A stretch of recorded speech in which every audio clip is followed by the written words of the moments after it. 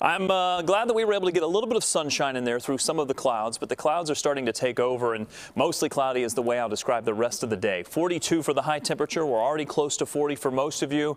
And then tonight, 33 for the overnight low with partly cloudy skies. That's the easy part of the forecast. I went through that pretty quickly. Once we see this transition from these 40s down into the 30s, that's where we'll see our next weather maker move in. Here's how it'll look on satellite and radar tracker. And this is some new data that's just come in. So I want to walk you through what to expect tomorrow.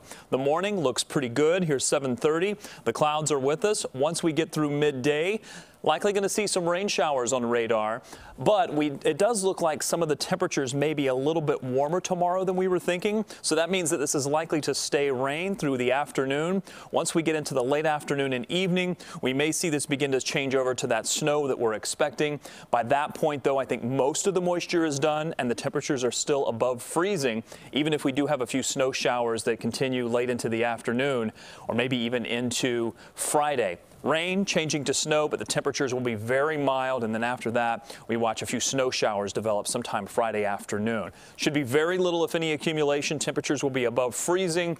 We do cool down as we head into the weekend, but the clouds, unfortunately, aren't going anywhere.